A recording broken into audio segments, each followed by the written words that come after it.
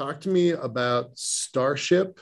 I think Starship is central to what we're going to do next free floating space stations, the moon, Mars, the asteroids.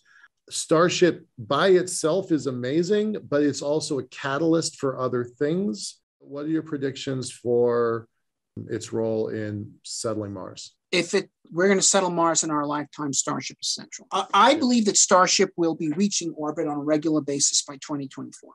Now, if that's the case, if that's the reality we're living in in the year 2024, 100 tons to orbit being delivered by a vehicle with 1% the launch cost of a Saturn V, we're going to have an election in 2024. Someone's going to be elected president. He or she is going to turn to his or her advisors and say, wow, this guy wants to go to Mars and he's got this stuff. If we got together with him, could we have people on Mars by the end of my second term?